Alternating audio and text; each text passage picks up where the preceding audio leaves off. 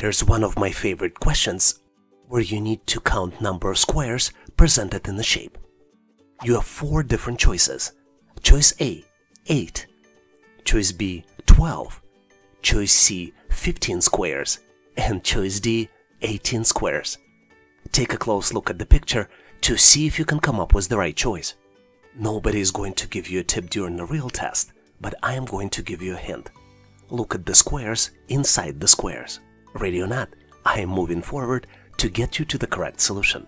Believe it or not, I counted 15 squares in this picture. Let me show them all to you.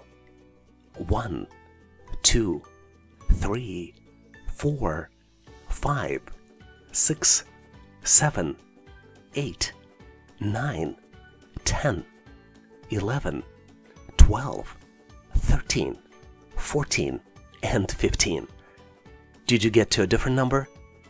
Please correct me and post your solution in the comment section of this video. Here is the very tricky test problem where you need to calculate total travel time. Business lady takes Uber and train to get to work. If an Uber journey takes 23 minutes and train trips takes 49 minutes longer, what is her total traveling time in minutes? You have four different choices to choose from. Choice A, 75 minutes. Choice B, 85 minutes. Choice C, 95 minutes. And then choice D, 72 minutes. Do you see the answer? Give yourself a little bit of time and keep in mind that this is a tricky problem. Did you figure it out? Let's look at the solution together. If you're like me, you might jump to the choice D, with the answer of 23 plus 49 of total of 72 minutes. But as I mentioned, this is a tricky problem. And to get to the correct solution, you need to make sure you don't miscalculate the train journey time. To calculate train journey time, you need to add 23 minutes of Uber trip to 49 minutes of train journey because train journey is 49 minutes longer than the Uber trip. So the correct answer here is choice C, 23 plus 23 plus 49, total of 95 minutes. Hopefully you've nailed this question, and now we'll be looking for these tricky problems on the test. Here's one of my favorite questions to test your verbal reasoning as well as your knowledge of English alphabet. You need to determine the missing letter of English alphabet to replace question mark. You're presented with 3 by 3 matrix, and this matrix has letters P, T, R, O, Q, S, M, N, and then the missing letter, which you need to select from one of four possible choices. Choice A, U. Choice B, letter Y. Choice C, letter X. And choice D, letter V. Do you see the answer? Give yourself a little bit of time to see if you can come up with the solution. I have full confidence that you found it, but just in case, I am moving forward to share with you my answer.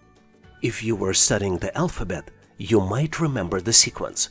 The sequence of letters in the middle of the alphabet, which would be M, N, O, P, Q, R, S, T, you would remember that the missing letter in the sequence, the next one in the sequence, would be letter U.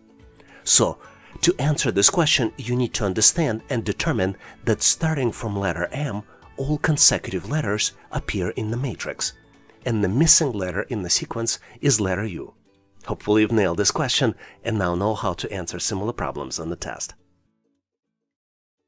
A lot of you are interested and ask me, how can I help others? One of the ways you can help other people is by sharing the latest questions you see as part of the assessment test. And when you share, please make sure to also include how you answered them. Please share the question you recently encountered in the comment section of this video. And if you know the answers, please share them as well. And now let's continue and get you ready for the test. Here's a very interesting question to see how quickly and effectively you can solve the challenge. You're presented with three triangles. Each triangle has numbers in the corners, as well as the number in the middle. First triangle has numbers 4, 18, and 2, and number in the middle 3. Second triangle has outside numbers 6, 56, and 1, and has 8 in the middle. And then the third triangle has number 3 in the middle and numbers 5 and 103 on the outside. In the upper right corner of the third triangle, you have a missing number, which you need to calculate out of four different choices. Choices A, 7, choice B, 10, choice C, 20, and choice D, 30. Do you see the answer? The solution is very obvious, but I would like you to try to get to it on your own. Ready or not, I am moving forward to reveal you the solution. If you have any suggestions how to solve these types of challenges faster, please share in comments. One phrase that you hear on this channel the most is always look for patterns. And then the pattern here is that the top number divided by the sum of the bottom two numbers on the outside of the triangle is equal the middle number inside of the triangle. So let's look at the first two examples. 18 divided on 4 plus 2 equals 18 divided by 6 equals 3. In the second middle triangle, 56 divided by 6 plus 1 equals 56 divided by 7 and equals 8. So to calculate the missing number, we need to build an equation. 105 divided 5 plus missing number equals 3. To calculate missing number, we need to divide 105 by 3 and subtract 5. 35 minus 5 equals 30. So the answer is choice D, 30. Hopefully you've nailed this question and now can easily solve these types of challenges on the test. A lot of people ask how can I help on this channel? One of the best ways to help is to help other people answer the questions that they're getting. If you know the answer to the question you see in comments, please post the answer in the comment section of this video. And now let's continue and get you ready for the test. Here's an amazing question to test your analytical and spatial reasoning skills. You need to determine how many rectangles are present here in the picture. Take a close look at the shape presented here and choose one of four following choices. Choice A, 8. Choice B, 17. Choice C, 18. And then choice D, 20 rectangles. Do you know the answer? Give yourself a few seconds, maybe pause this video to see if you can count all of them. Are you ready? Let's move forward and I'll share with you my version of the solution. And obviously, if you see a different answer, please make sure to post in comments. Believe it or not, but I counted 18 rectangles here in this shape. Let me show them all to you. 1, 2, 3, 4, 5, 6, 7, 8, 9, 10, 11, 12, 13, 14, 15, 16, 17, and 18. Do you see a different number? Please make sure to post in comments. I would like to ask you to participate in our daily assessment test challenge. I post new question every day in the community tab of YouTube channel and give you an opportunity to answer it and try it. And I post answer in comments next day so please make sure to check it out to test your knowledge. And now let's continue and get you ready for the test. Here's very unusual question which is frequently used in the test. You need to find the correct expression. And you're presented with choices 1 plus 1 equal 10 and second choice a plus b equals 17. You have four different options to choose from. Choice A 1 plus 1 equals 10 is the correct expression. Choice B, the correct expression, is a plus b equals 17. Choice C, both of these expressions are correct. And choice D, none of these expressions is correct. I am going to give you a quick hint. If you have a degree in computer science, it might be easier for you to solve and get to the correct solution.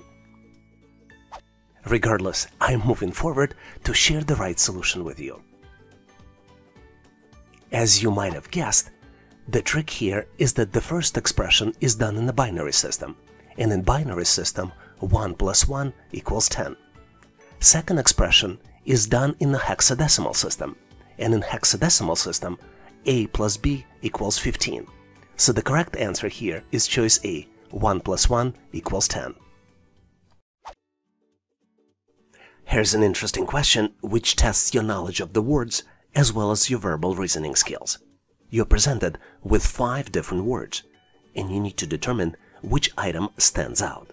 The words are pamphlet, certificate, leaflet, catalog, and brochure. Do you see the answer? Do you know which item stands out? Give yourself few seconds to see if you can determine the answer.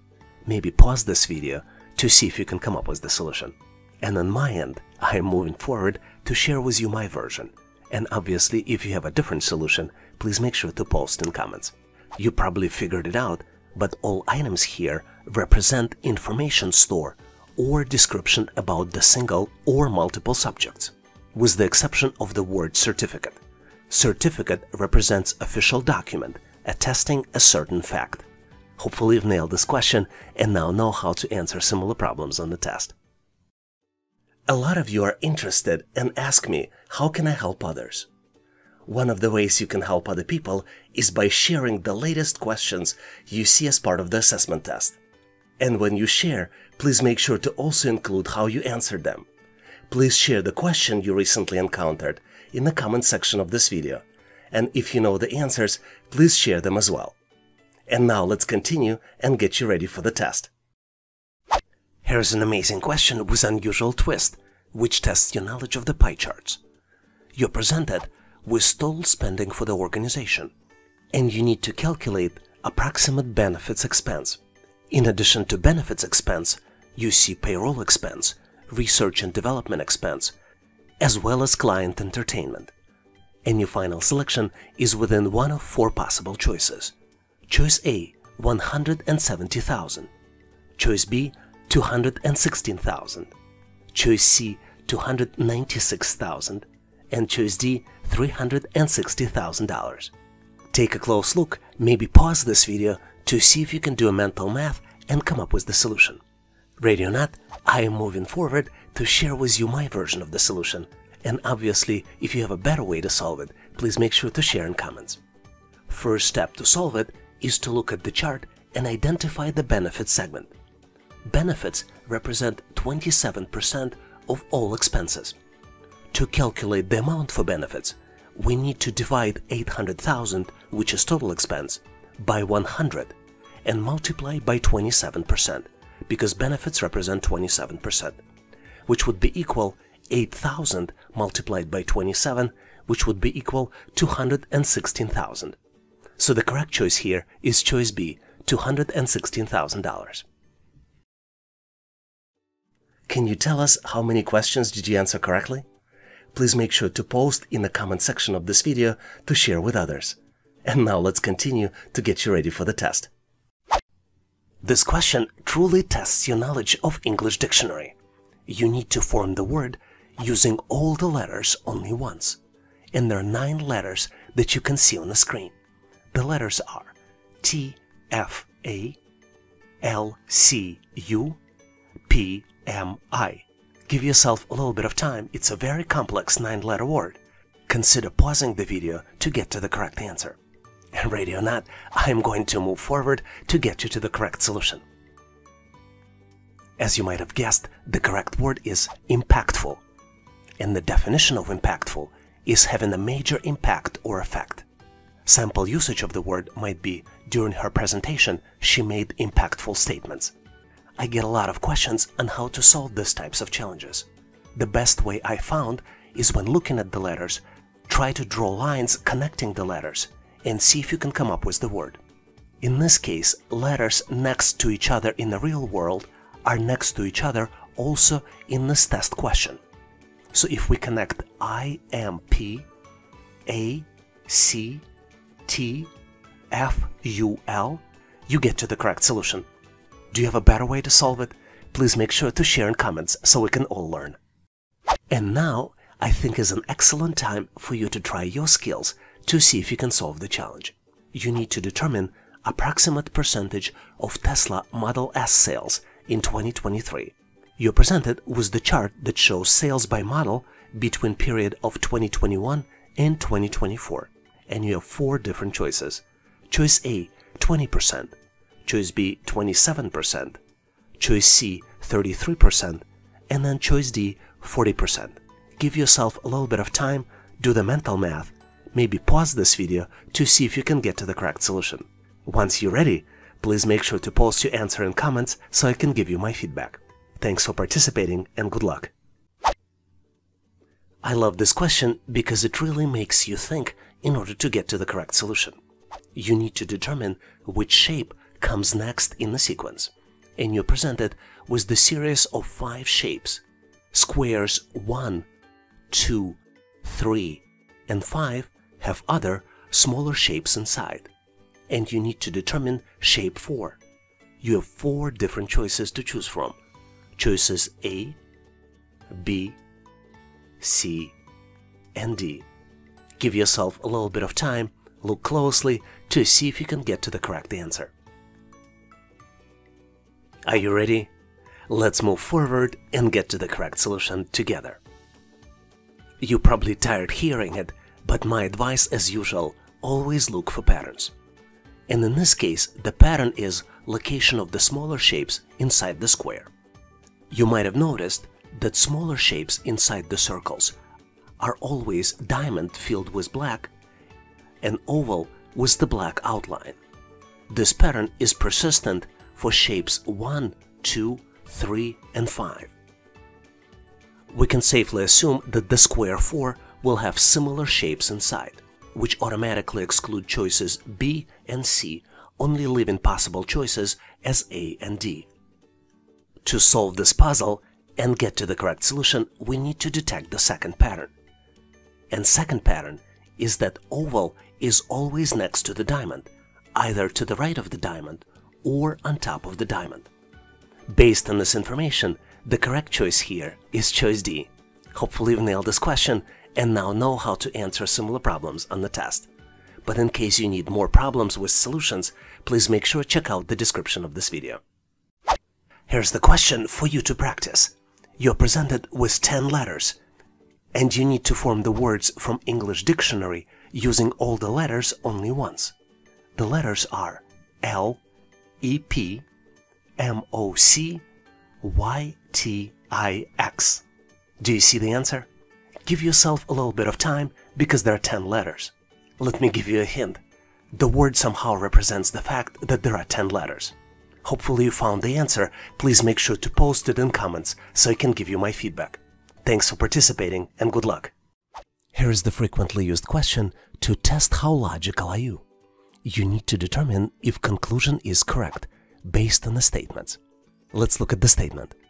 All soccer players are sports persons and all sports persons are fit. Conclusion. Some soccer players are not fit and you need to determine if this particular conclusion is correct. You have four different choices to determine if conclusion is accurate. Choice A, it's reasonably correct. Choice B, it is correct. Choice C, it's incorrect.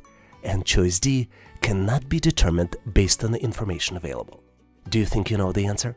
Give yourself a little bit of time, maybe pause this video and take another look at the statements and at the question itself. Ready or not, I am going to move forward and reveal the solution.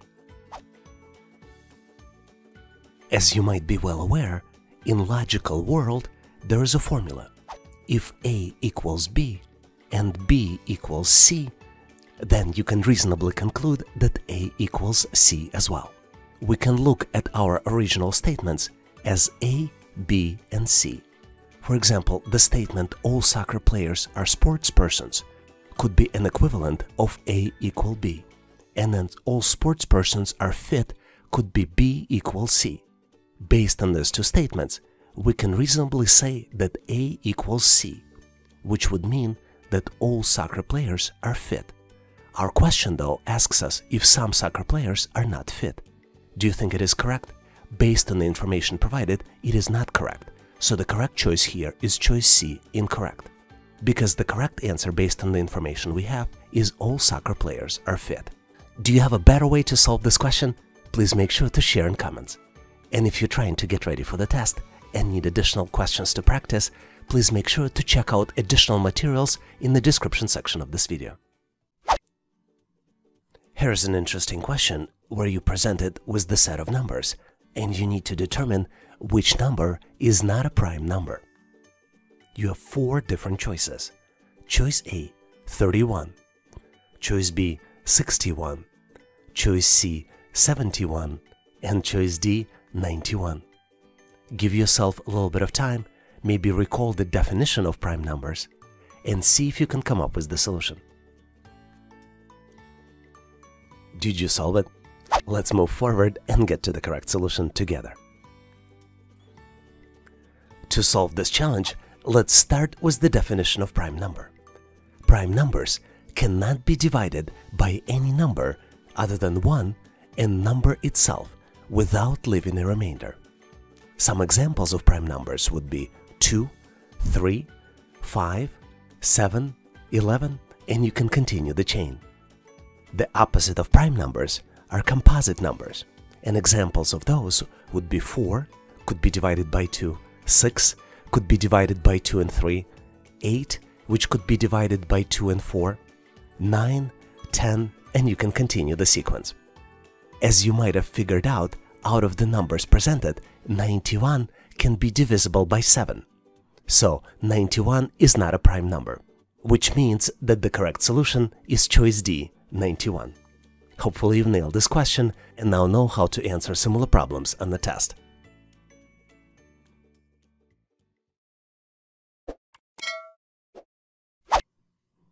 Here's an interesting challenge where you need to determine the relationship between family members.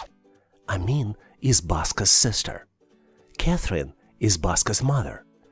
Dan is Catherine's father. And Alan is Dan's mother. You need to determine how Amin is related to Dan. And you have four different choices.